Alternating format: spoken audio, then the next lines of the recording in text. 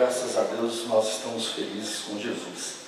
Queria já estar agradecendo aqui a diretoria da nossa igreja sede, deste convite, pastor Adalberto esteve nos fazendo oficialmente esse convite, e toda a diretoria, que Deus continue abençoando, e é muito honroso para mim estar aqui ministrando nesta noite. Também agradecer a minha família, que sempre está comigo, a minha esposa, meus filhos, eles estão aqui sentadinhos, e eu dou glória a Deus pela família que eu tenho. Deixa eu te fazer uma pergunta, você já agradeceu a Deus hoje pela família que Ele te deu? Tem muitos que estão lá fora que estão chorando pela família, mas nós somos privilegiados, porque nós estamos agradecendo a Deus pela família que Ele nos deu. Então, nessa noite, se você entrou aqui, você tem seus filhos na casa de Deus, se você tem o seu esposo na casa de Deus, se você tem o seu marido na casa de Deus, já é motivo para você glorificar Deus, porque Deus está cuidando do seu lar. Amém? Peço que os irmãos, por favor, abram as suas Bíblias. Primeira carta aos Coríntios, capítulo de número 11 estivemos orando a Deus e Deus nos deu uma palavra para nós estarmos fazendo essa noite, culto de ensinamento, culto de doutrina. E um tema que eu queria pôr nessa mensagem é como ser imitador de Cristo nos dias atuais. Vou repetir o tema para que os irmãos gravem nos seus corações. Como ser imitador de Cristo nos dias atuais. E como texto de referência, eu quero estar tomando aqui em Coríntios, capítulo 11, primeira carta aos Coríntios, capítulo 11, verso 1. E também eu queria fazer menção na carta aos Efésios, capítulo de número 5, verso 1. Diz assim, os irmãos, por favor, nos acompanhem. Primeira carta aos Coríntios diz assim: Sede meus imitadores, como também eu sou de Cristo. Todos podem repetir comigo, por favor? Sede meus imitadores, como também eu sou de Cristo. Tem imitador de Cristo aqui nesta noite? E também Efésios, a carta aos Efésios, capítulo de número 5, versículo 1 diz: Sede, pois, imitadores de Deus, como filhos amados. Vocês podem repetir comigo, por favor? Sede, pois, imitadores de Deus, como filhos amados. Então não é para imitar a Deus de qualquer jeito. Seja imitador de Deus como filho amado, porque Deus tem prazer em olhar para você e te chamar de filho. Se tem filho de Deus aqui nessa noite, essa mensagem é para você. Se tem filho de Deus aqui nessa noite, essa mensagem é para entrar no seu coração e no seu lar, é para transformar a sua vida, é para mudar um pouquinho mais aquilo que nós já estamos fazendo. Nós estamos aqui nessa noite exatamente para imitar aquele que um dia veio a esse mundo, mas ele morreu na cruz para dar a vida para cada um de nós, e por isso nós podemos dizer: você tem vida, eu tenho vida com abundância. Porque aqueles a qual nós imitamos, chamado Jesus Cristo, ele já morreu para dar a vida para cada um de nós. E o que é ser um imitador? Eu fui pesquisar, pra, está passando para os irmãos. Tem duas definições para falar sobre o imitador. Primeira definição: aquele que faz imitações. Aquele que faz imitação é um imitador. Nós temos muito isso é, nos canais de televisão. Aqueles que imitam artistas, tem uns que imitam muito bem. Alguns imitam Silvio Santos, alguns imitam outros artistas. Ele é um imitador. E já aproveitando esse gancho, eu quero dizer para você que não foi para ser esse tipo de imitador que Deus te chamou. Deus não te chamou para ser imitador aí do mundo. Deus não te chamou para ser imitador das coisas do mundo. Mas Deus te chamou para imitar aquele, como eu já disse, que morreu na cruz do Calvário e que traz a vida na palavra dele. E a palavra de vida está sendo pregada nesta noite. E ainda aproveitando esse leque, eu queria dizer para você que vem um imitador aí. A palavra de Deus nos diz, e eu quero usar aqui a teologia que nós, assembleianos, acreditamos, aqueles que são dispensacionalistas. A Bíblia diz que nós estamos na dispensação da graça, esperando a volta do nosso Senhor Jesus Cristo. Já foi cantado aqui nessa noite, já foi louvado aqui nesta noite. Quem está aguardando a, a volta do nosso Senhor Jesus Cristo, dá um glória a Deus.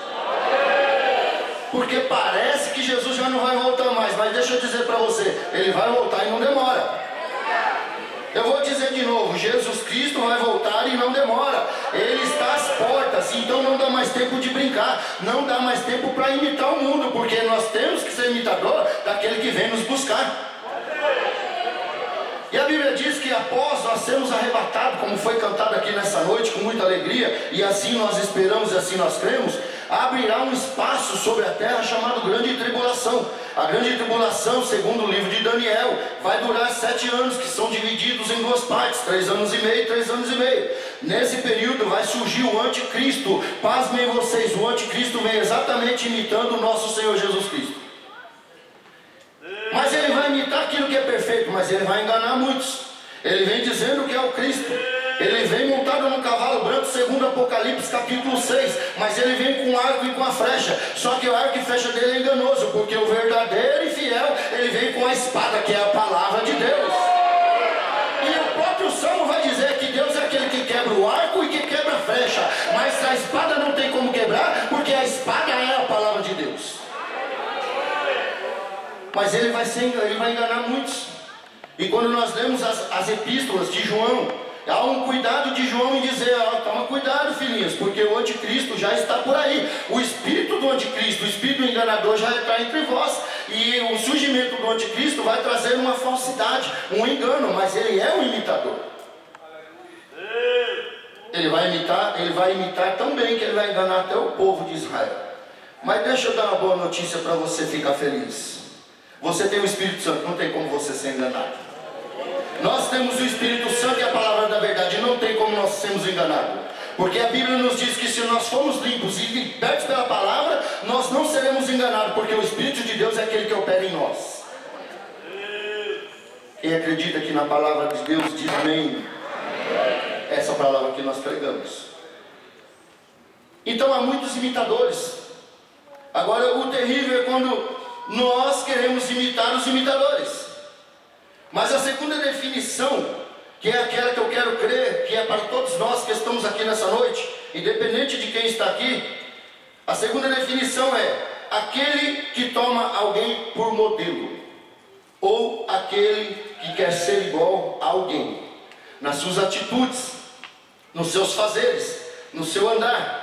E eu quero crer que aqui está repleto dessas pessoas hoje que querem tomar Jesus Cristo como exemplo, querem tomar Jesus Cristo como modelo, querem tomar Jesus Cristo como aquele que guia a nossa vida e nos ensina como nós devemos fazer. Eu me lembro, irmãos, que quando meu filho era pequeno, era menor, ele jogava futebol e estava aquela moda do Cristiano Ronaldo com o cabelo em pé, aquele cabelinho assim em pé, os irmãos devem lembrar. E o meu filho cortava o cabelo daquele jeito. E ele, por ter um porte físico assim, até brincavam com ele, você parece Cristiano Ronaldo. Mas eu ia olhar na conta e não era aquilo que estavam falando. Ele até parecia o Cristiano Ronaldo, mas a conta parecia minha mesmo, não tinha nada lá. Quem dera. E eu torcendo para a conta dele ser igual ao Cristiano Ronaldo. Mas ele imitava o Cristiano Ronaldo. Eu não lembro, não sei se os irmãos vão lembrar numa Copa que o Ronaldo, Ronaldo chamado Ronaldo Fenômeno, ele cortou o cabelo mais tão feio, mais tão feio, era uma bolinha aqui na frente, mas aquilo virou uma, uma epidemia, aquilo virou, entre as crianças, virou uma coisa que todos eles queriam fazer. E as crianças imitavam o Ronaldo mesmo sendo um corte feio. Deixa eu dizer para você, no meio evangélico não pode ser assim, nós não podemos olhar para o mundo e imitar o mundo, mas nós temos que olhar para Jesus e imitar aquele que morreu na cruz para cada um de nós. Nós não podemos ser como aqueles que vão imitar como o anticristo imita, aqueles que se vestem como crente, ele anda como crente, ele canta como crente, ele fala como crente, mas ele está imitando o mundo. Mas aqui ainda tem um povo que fala como crente e é crente, tem um povo que prega como crente e é crente, tem um povo que louva como crente e é crente, tem um povo que ora como crente e é crente, tem um povo que jejua como crente e é crente, e é esse povo que Deus vem buscar e levar no arrebatamento para morar com ele. Maravilhoso quando nós nos parecemos com o nosso Senhor. Nós abrimos a nossa boca e Deus tem prazer em falar, em escrever embaixo aquilo que nós estamos falando. O crente, quando ele é fiel a Deus, quando ele é imitador de Cristo,